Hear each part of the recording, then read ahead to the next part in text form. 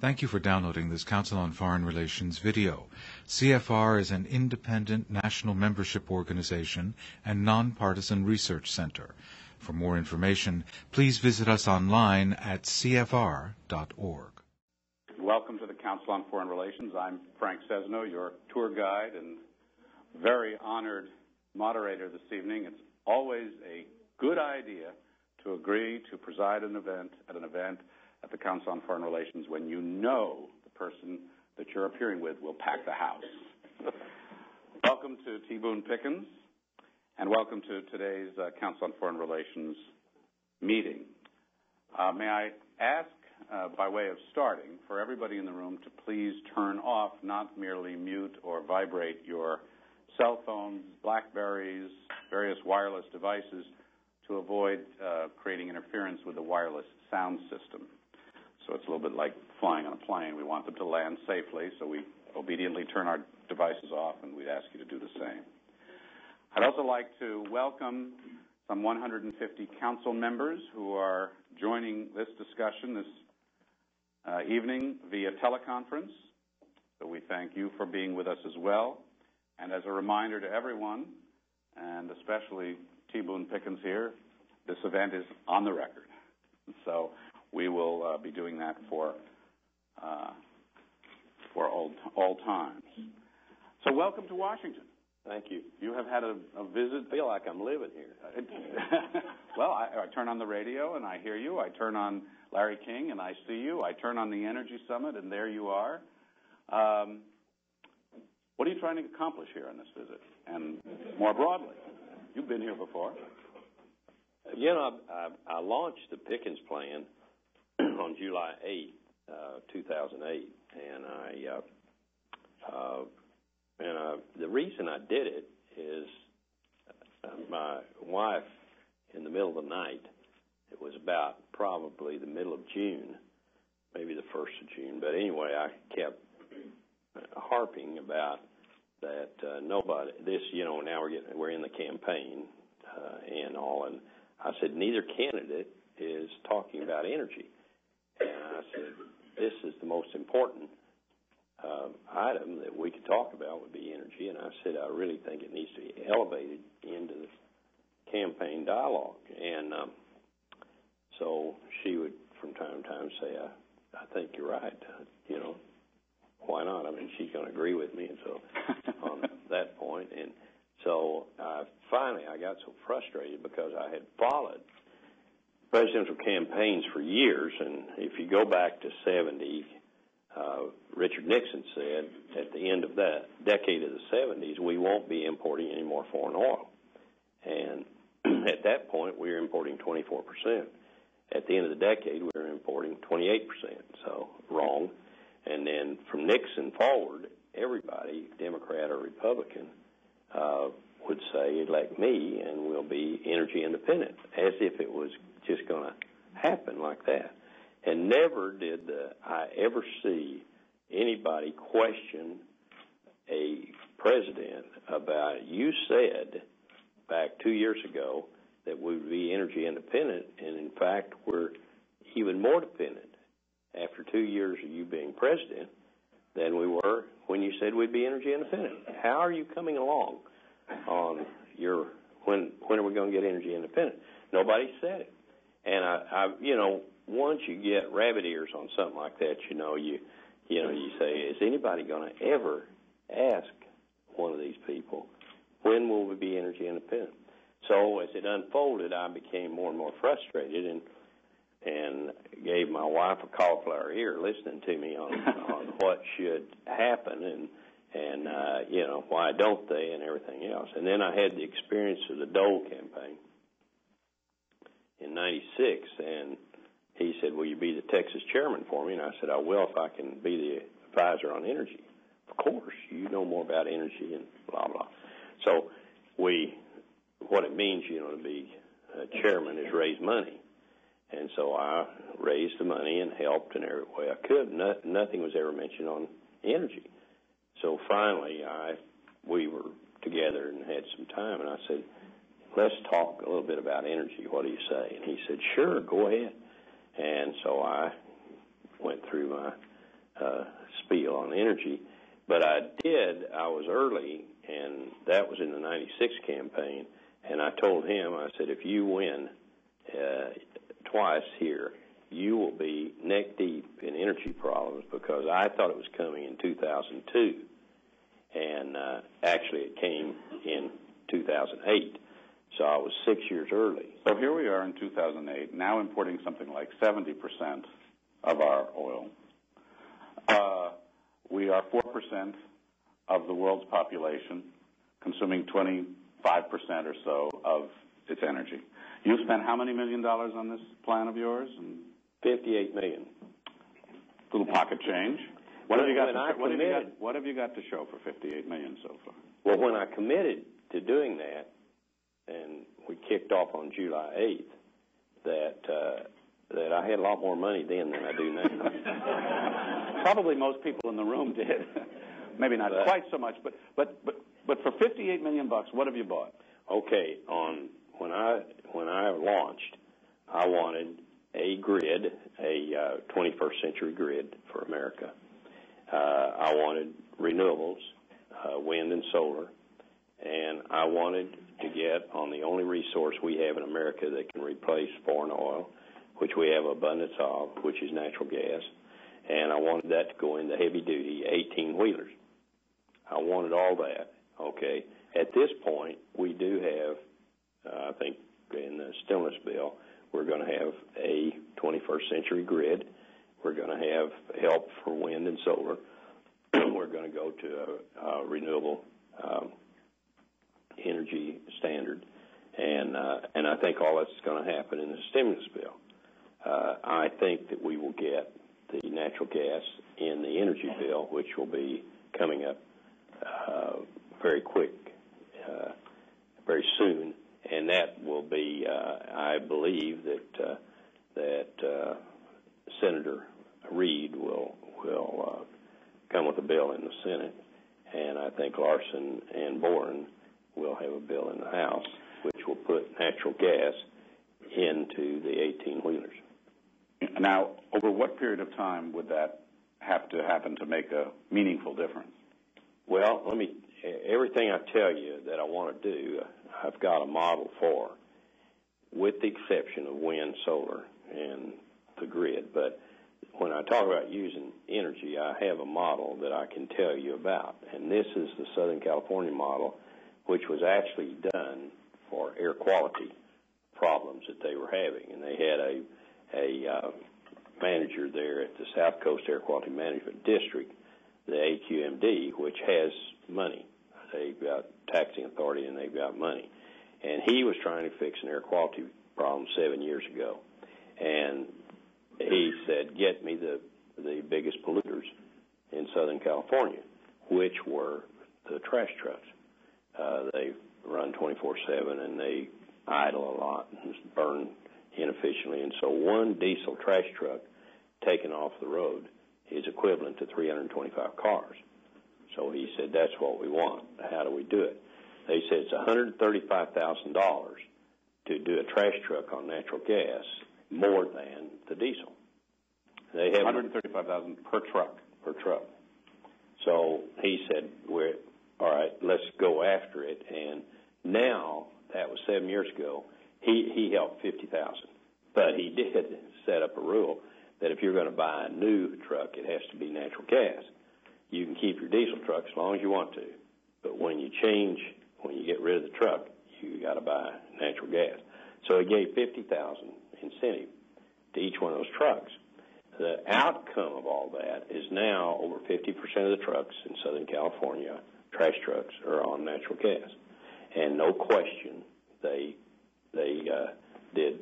You know, it was a great amount of help for them. Now, what I want to do, the that's my model. Move it over, and it's a seamless model. The the uh, the fueling stations and everything else will come with the trucks, so you don't have to.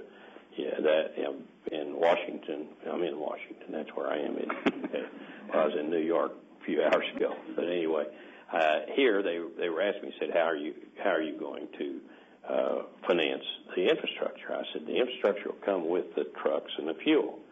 Don't worry about it. It'll happen."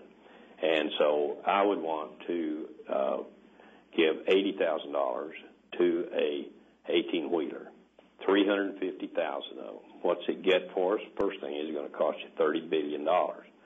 But every gallon you use of natural gas will be one gallon less of foreign diesel.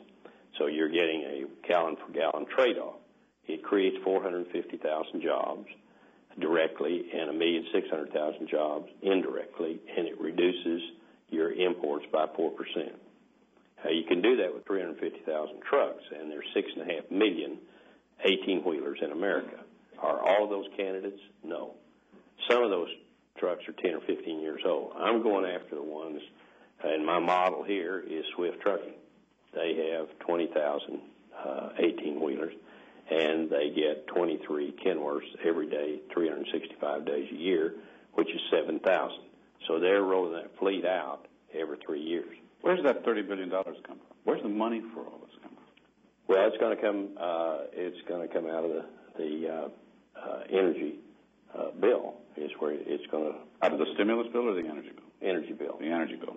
So that thirty. I was out uh, uh, a couple weeks ago at the National Renewable Energy Labs, and I was walking around and looking at the work they're doing with with wind power and trying to develop thin film photovoltaics.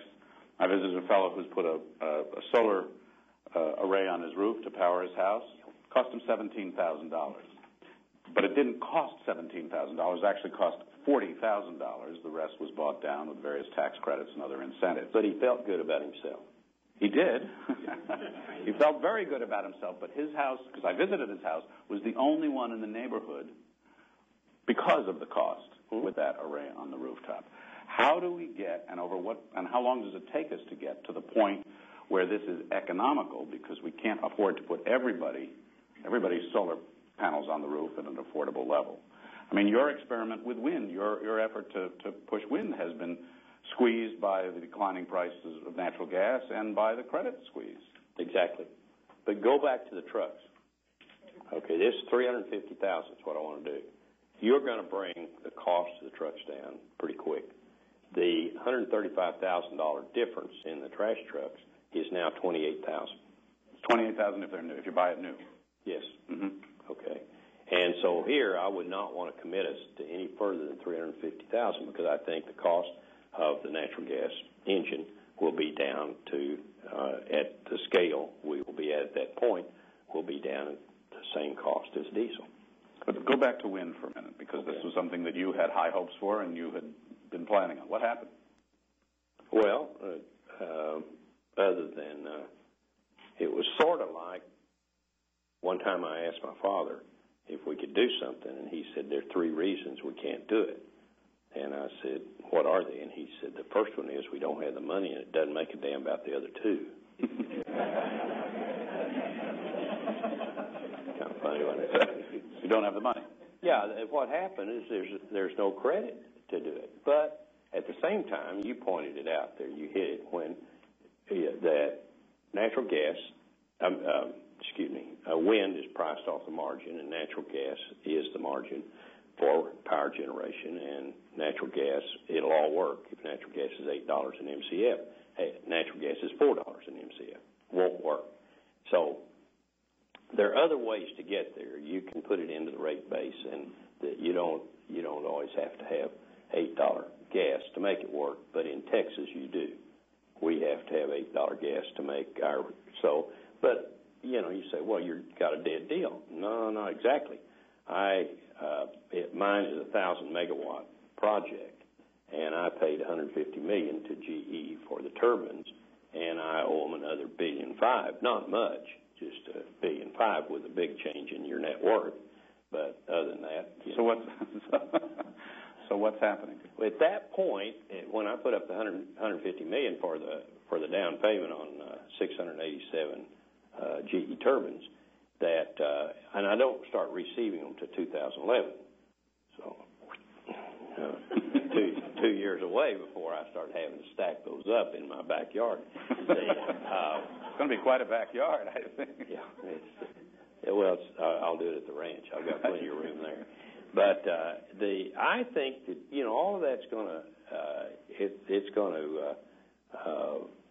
it's going to come back. I mean, but, so what will happen to, to, to your wind farm? Are you going to farm? Yeah, by 2011, when I receive them, I think you're going to have between now and 2011, there'll be a recovery in the gas price, one, and two, you're going to probably come out of the the uh, the energy bill or stimulus package. There's going to be a wind farm, uh, excuse me, a wind bank, a wind bank that will do some financing in here. He'll have a, a interest rate that you know will be set, so you know what you're doing, and it'll give you plenty of time to pay it off. But it will all be paid back. You met uh, and you've talked energy with uh, President Obama some time ago, as I understand. That's September of 08. Did he get the energy issue then? I think he got a lot more of it after he talked to me than he had when he got there. But uh, do tell. The, but it was a very good meeting. It went for over an hour. He said, "Do you mind if I take notes?" I said, "I'd be kind of made me feel good that he thought enough of what I was saying. He'd write it down." But uh, we talked, and and in it, I said, uh, he said, "Is there anything that I say in my remarks about energy that uh, makes you uncomfortable?" And I said, "Well, one thing," I said, "that you talk uh, about having one million plug-in hybrids in ten years." And he, you know, when somebody challenges you, know, you'll you'll kind of straighten up. He did kind of straighten up his chair, and he said, "Mr. Pickens, let me tell you, I'm going to do that." And I said, well, if you looked out on that parking lot here in Reno, Nevada, and there were a million cars, I said, it'd look like a hell of a lot of cars, it? And he said, sure would. I said, now step back. You're president of the United States. Now look at the problem. He said, what is it? And I said, you have 250 million vehicles in America, and you're cranking out about 13 or 14 million of them a year. And you're going to have 1 million in 10 years? Then there was a pause, and he, he kind of laughed. He said, not very many, is it? I, I said, no. I said, you got to do something about 250 million. But I said, go to work on the big ones, the ones that use the most fuel. Go to work on the 18 wheelers. Let the the uh, uh, if we want to really reduce the dependency on foreign oil, we've got to have resources in America that are going to replace the foreign oil. And so I said, let the light duty go to the battery, and uh, and then I said the heavy duty go to natural gas. And I said, we can work this thing down. I said, in five years, we can have it down 30%. And in 10 years, I said, we can have it down. Uh, I, I think we can have the, the East clear out of the picture at that point in 10 years. He started making those speeches. If you remember what he said on energy, he said, in 10 years, we are not going to be importing any oil from the Mid East or Venezuela. Do you think that? I think that came you, from you that. think it's credible? that this country, with those, this number of cars, with all the stops and starts, frankly, that we've made on, on, on our energy policy and energy consumption and alternatives over all the years, can completely turn off the spigot on, on Middle Eastern oil in a decade? Uh, yeah, I do. I think you can. And there are and there are those, Boone, and you know this, who say that doesn't matter because, it, you know, if we turn it off, somebody else turns it on, and well, who cares?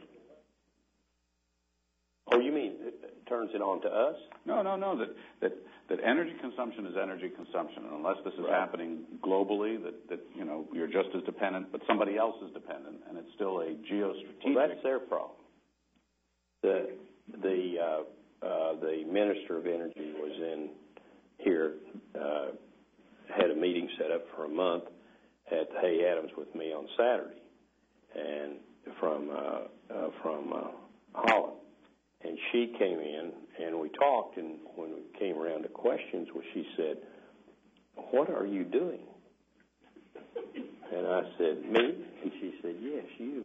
I said i'm trying to get off of foreign oil we want the oil from from canada and mexico but i mean that's okay north american oil's fine but uh, i said i'm trying to get off foreign oil from africa uh, the Mid East and uh, and Venezuela and she said, "You know that we imported 100% of our oil uh, 10 years ago. We she said we import from the Mid East. She said we import zero now. And can they do it? They did it. Can we do it? Of course we can. Let me tell you the way it would unfold. We have plenty of natural gas to do what I want to do. Um, what will happen is natural gas will will dribble down into the to the uh, uh, light duty, mm-hmm. your car, my car. I drive a Honda GX Civic, which is a natural gas car, and I have You drive a Honda Civic? Mm-hmm. Okay.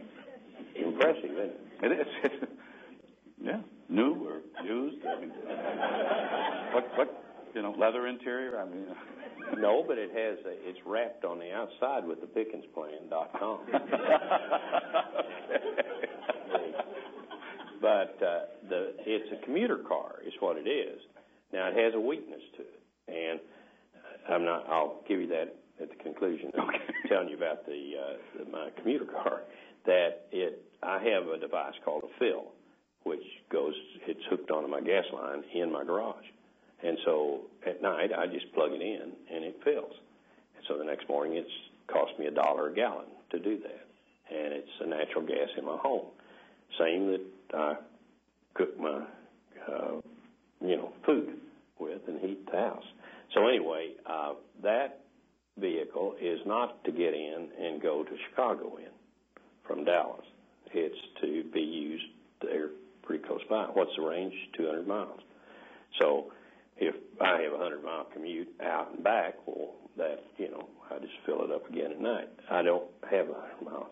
That's the weakness to my story. I live less than a mile from the office. And I told this story in Austin the other day, and some guy in the back of the room said, Hell, why don't you just walk? to which you replied, Well, I thought, I don't think I'll tell this story again, but I did because it, it had a funny part to it. But, but I do exercise, and I could walk, but I have to cross uh, Loop 12, and I just soon drive less than mile. because uh, you you have this remarkable perspective on this, I want to ask you, since we're talking about transportation, transportation fuels. You know, when I was out at the Energy Labs, I drove the hydrogen vehicle, which is mm-hmm. lovely if you want a gallon and a half of hydrogen in the car and pay a million dollars for the vehicle. Right mm-hmm. now, it'll be a few years. Bet you feel good about yourself. I did feel really, really good.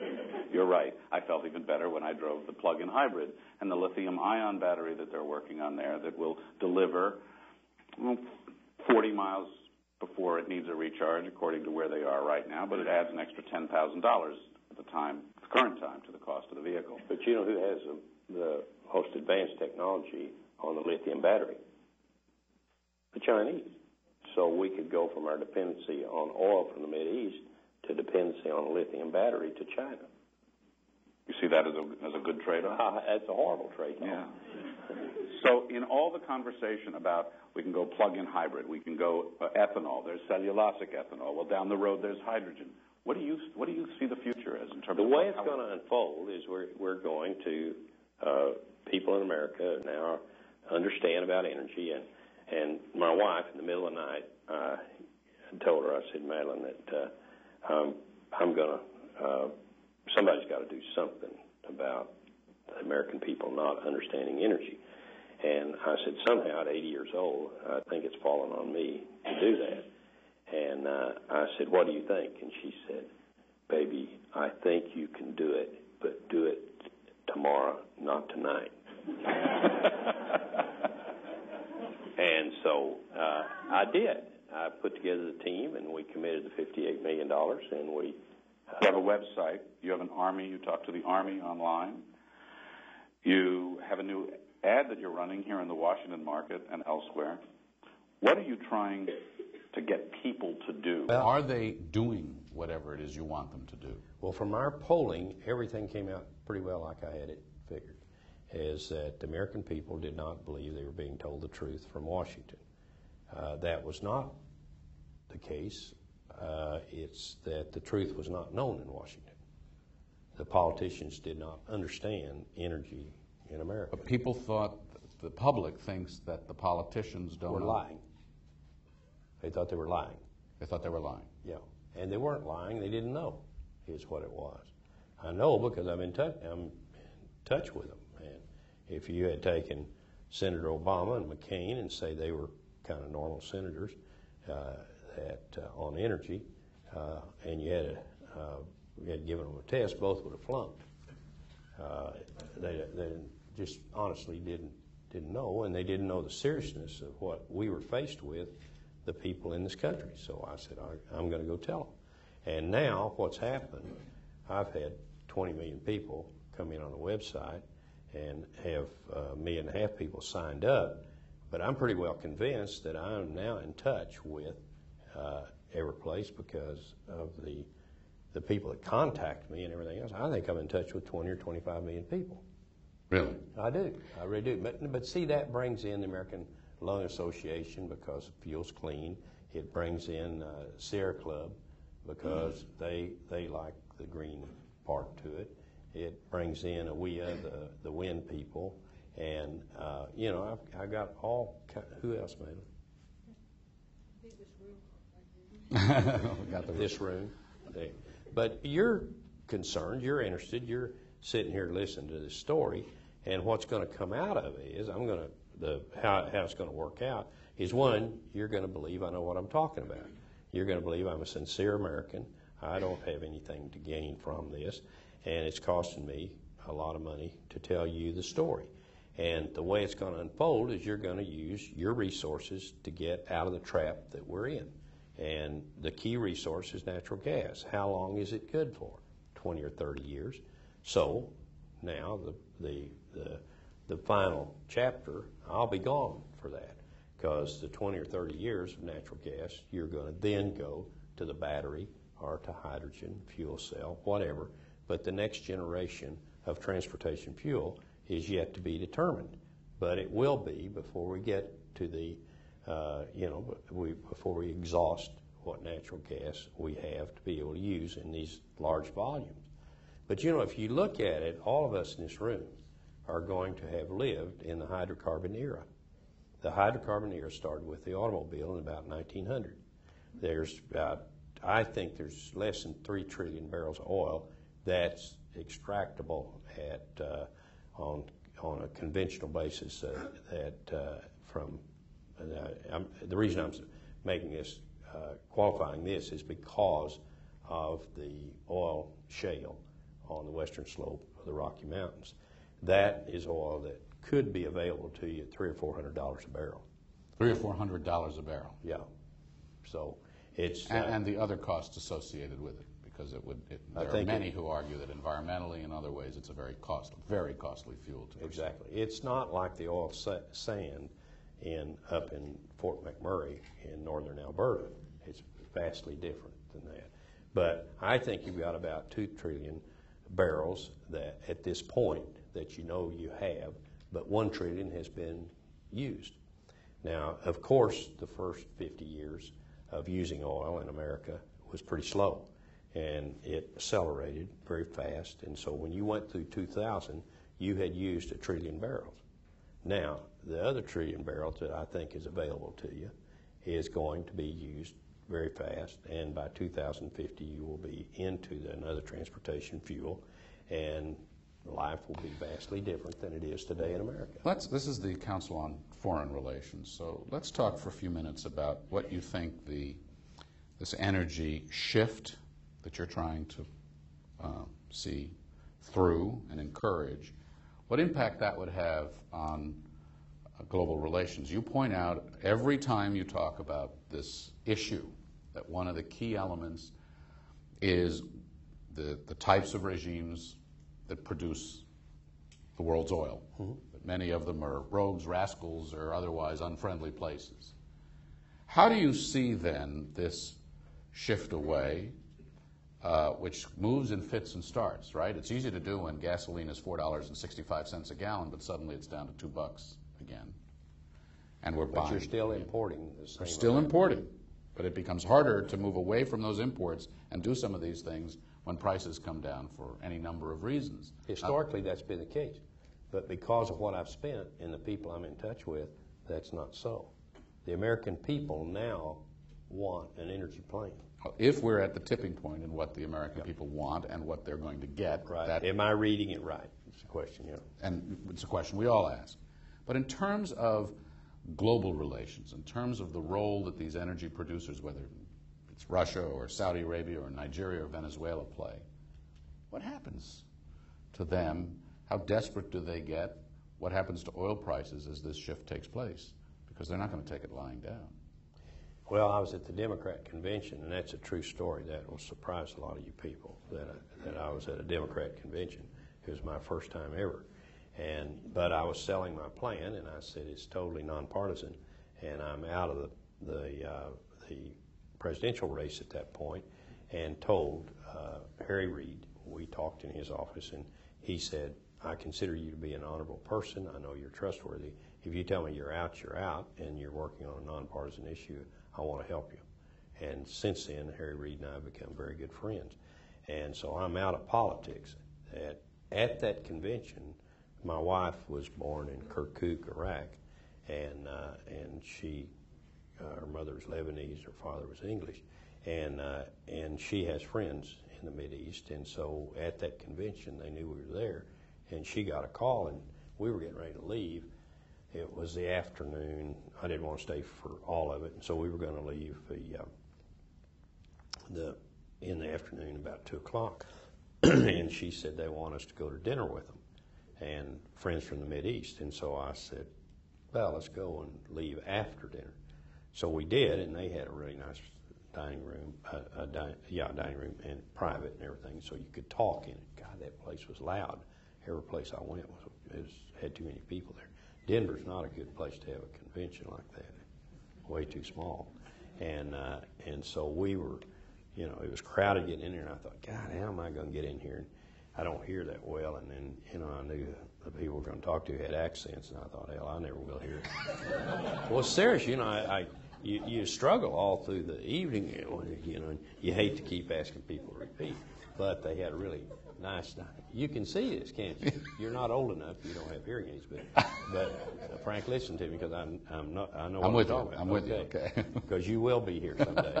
so anyway, we we here we are in this nice quiet room, and all glassed in. You can see all this crazy activity going on outside the room. But we got pretty concentrated on this conversation.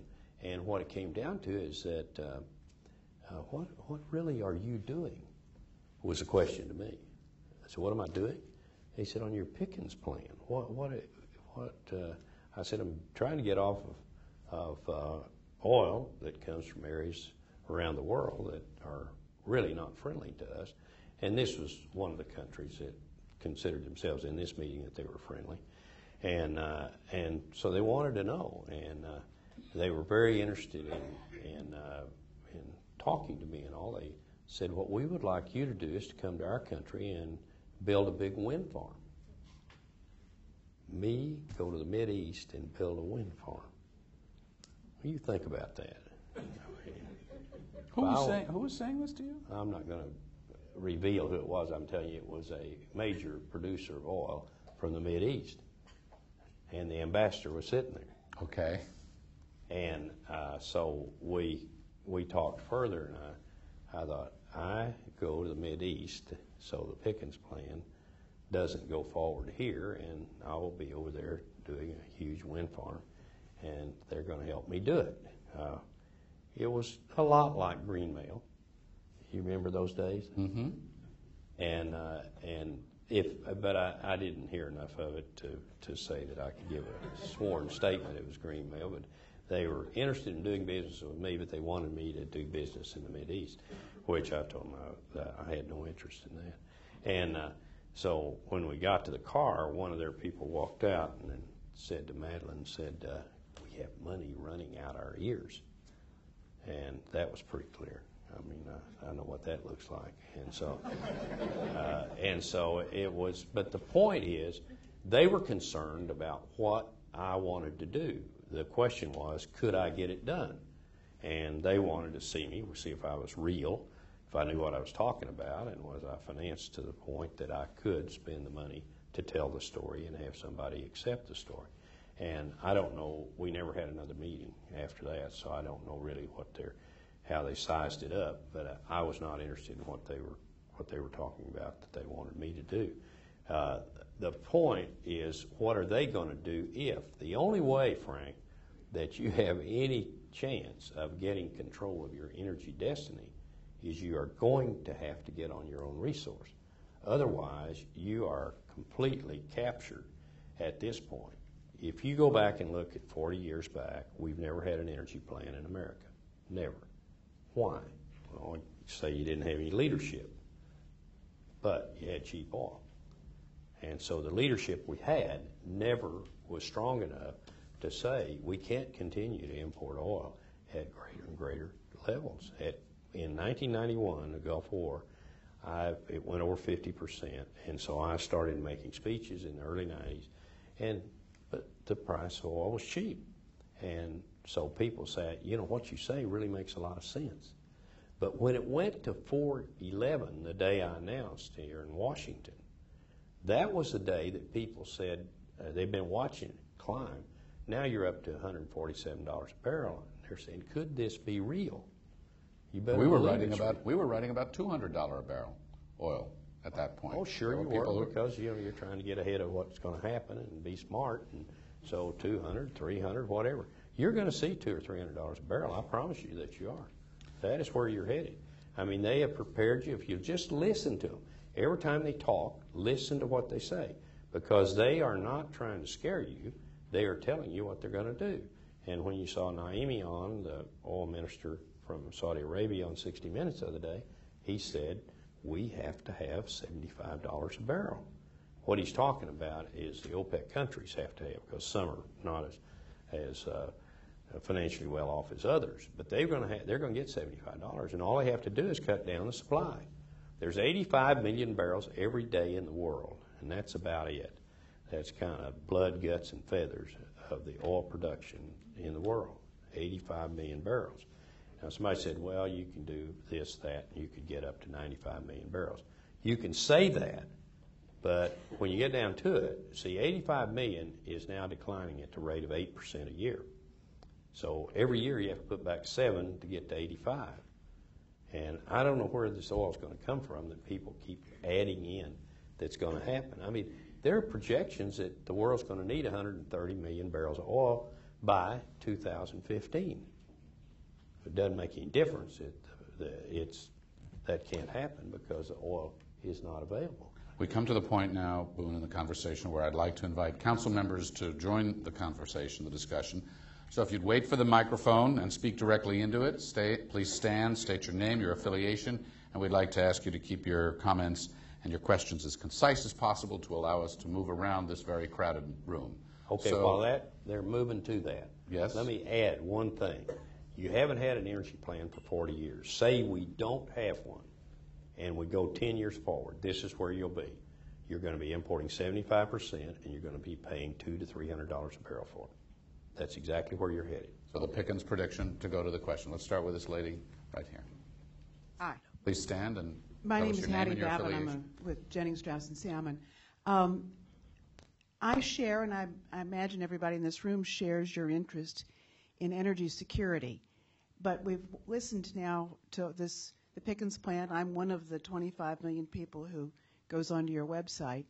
Um, and I'm curious why the issue of climate change never passes your lips, because the it, or it hasn't this evening, and the army of people you hope to support your plan would be, I think, very compelling to people who get up in the morning worried about climate change, perhaps even more than they worry about energy security. Okay, climate change is not something that's going to what it, the consequences of climate change, you're not going to see uh, Monday morning. It's going to be a creeping change. And I'm one of the few geologists in this country that believes climate change is real because they can clearly show you that you've had millions and millions of years of drought, millions of years of, of uh, ice, you know what I mean. But so, and you're just in one of those periods and you haven't, you know, just a few years have passed and uh, all. I, but I don't agree with that. But my, my point is, and I and I had oh God, it was uh, I, well it was early this month. It was two weeks ago in Houston, and here I am with these geologists that are my age or older, and they are, you know, you have lost your mind, Boone. You know that you believe in climate change. Don't even embarrass yourself by saying that. And I said, okay, if we take whatever precautions at this point and we do accept climate change.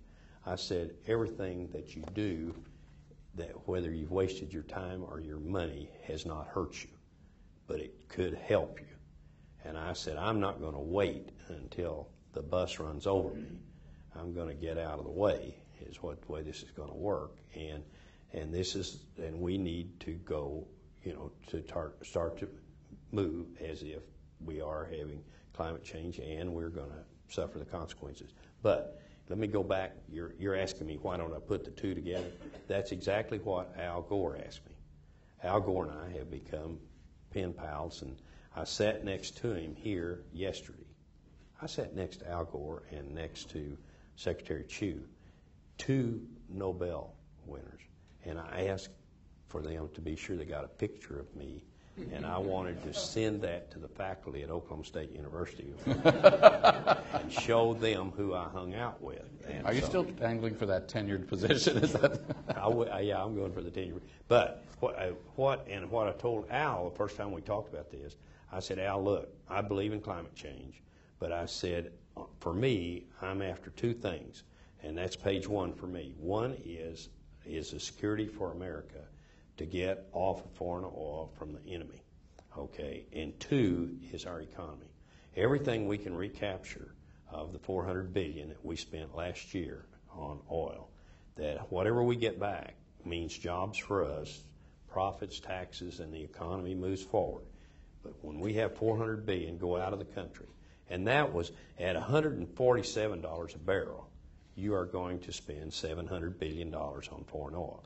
Now we didn't have our whole year didn't look like that, so I think it was four or 500 billion that went out.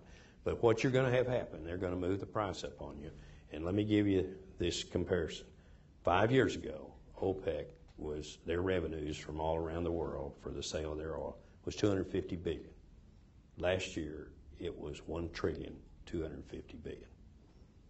The price will move up. You will be looking at two to three hundred dollars a barrel in 10 years, and you'll be importing 75% of your oil. Let's go to the next question. Uh, let's go to this gentleman here, and then we'll come over to the front row. Uh, It's David Bohegan from E2 Capital Partners, and tonight we've talked primarily about the supply side. I'm interested in the demand side, and not just from the transportation sector and cafe standards, but buildings and appliances and what sort of role that can play, especially from an investor such as yourself, when it seems to me that where there could be some real private sector gains there made by investing in those sort of technologies or existing products. Uh, You're talking about conservation? Energy efficiency primarily. Okay, we got to have it.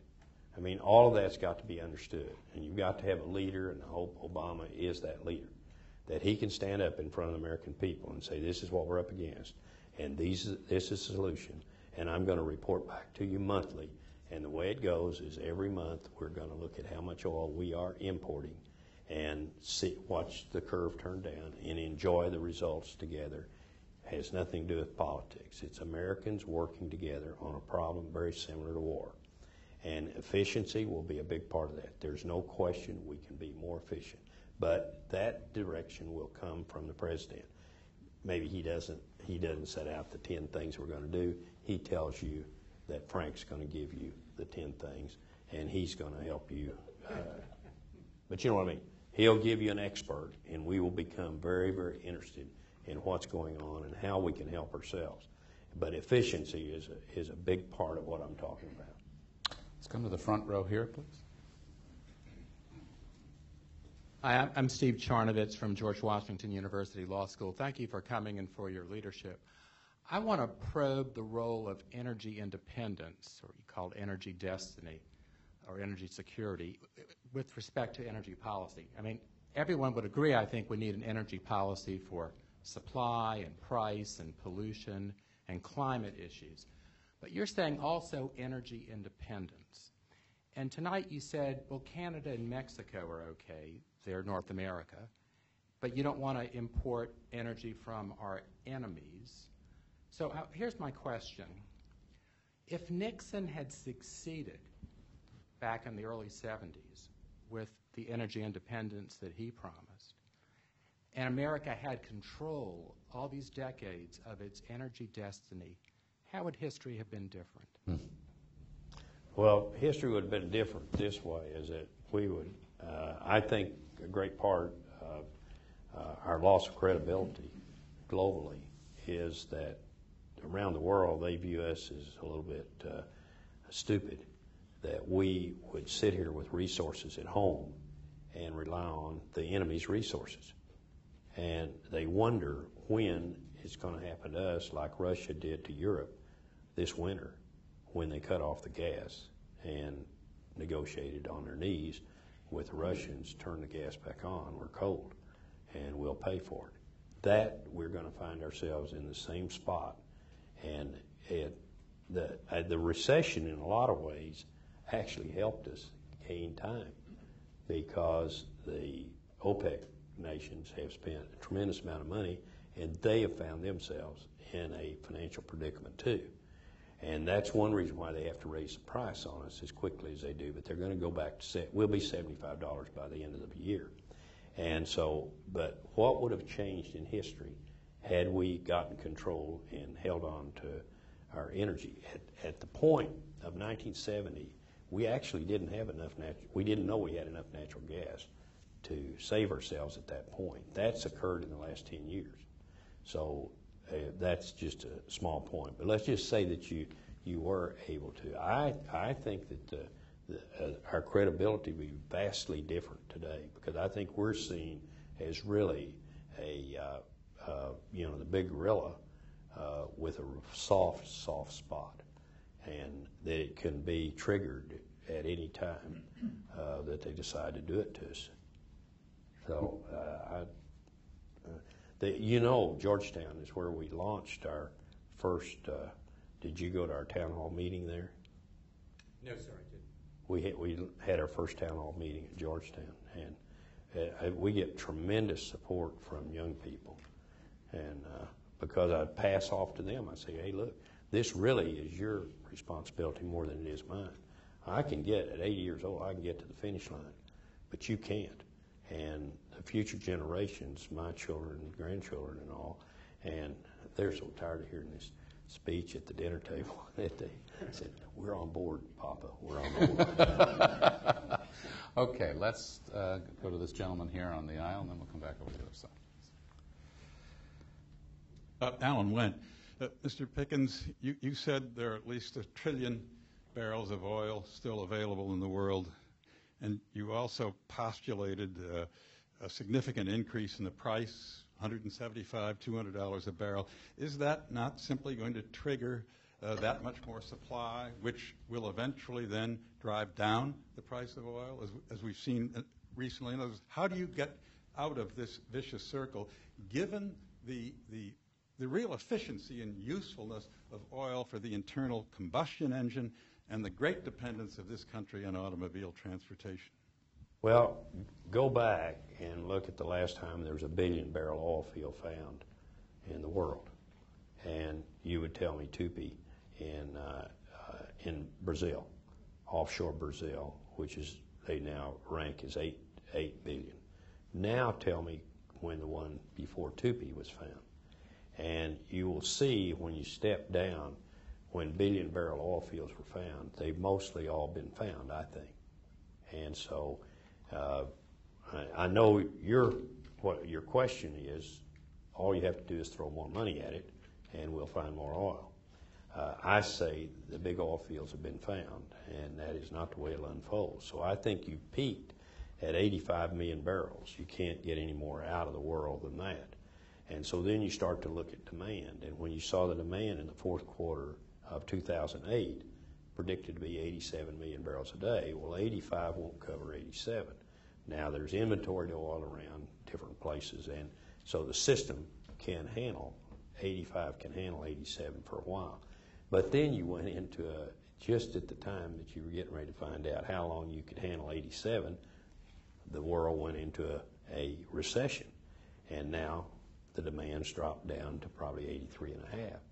And so uh, here you are, still have 85, and you've got too much oil around, so the price falls $100 a barrel. Very convenient. What'd that do for the world? Well, it was about the biggest uh, stimulus you could have possibly given the world. It was $3.2 trillion that was just plugged in at just the difference in 147 and $37 for the oil. So it's, uh, uh, I don't believe, in answer to your question, I don't think the oil is there.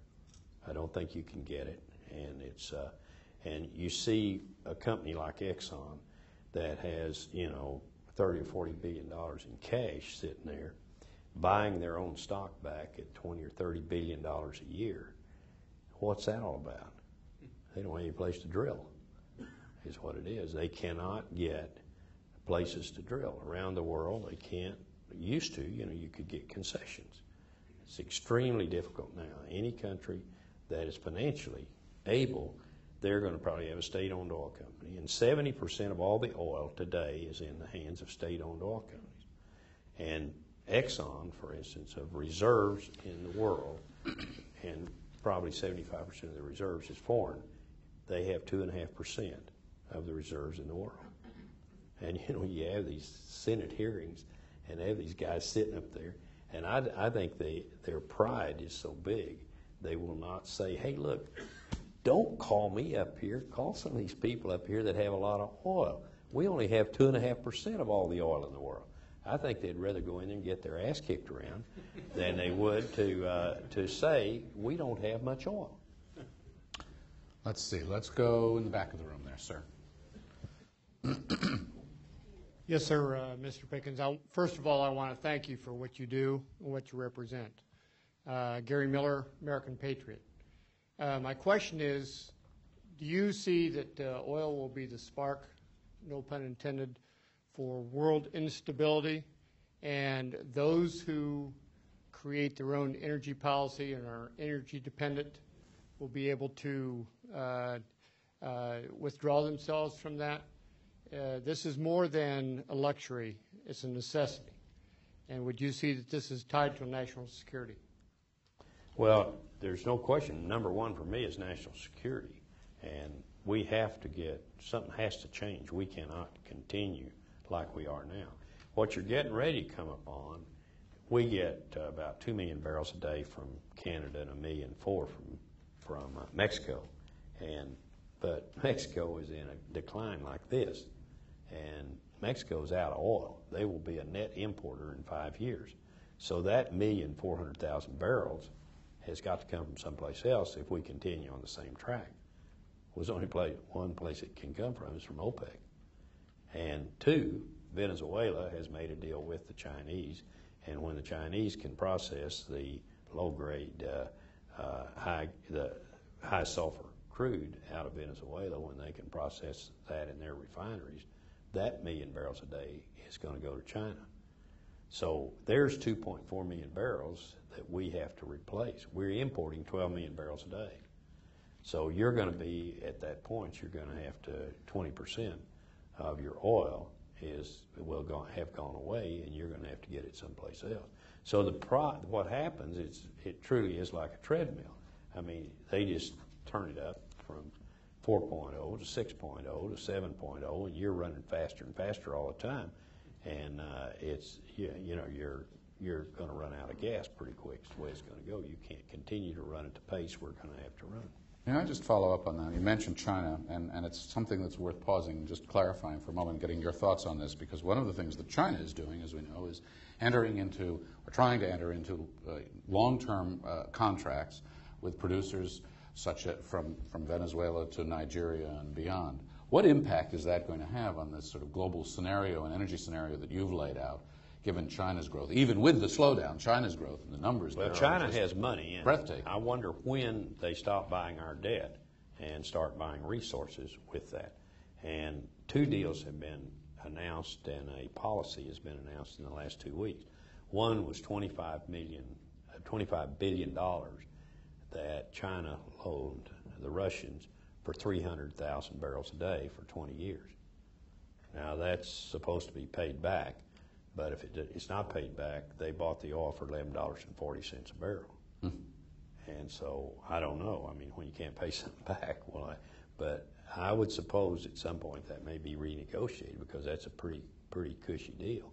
And also, uh, the Chinese announced that they were going to put more money into the national oil companies, uh, CNOOC and uh, Sinopec, that they're going to put more money in them to buy resources around the world.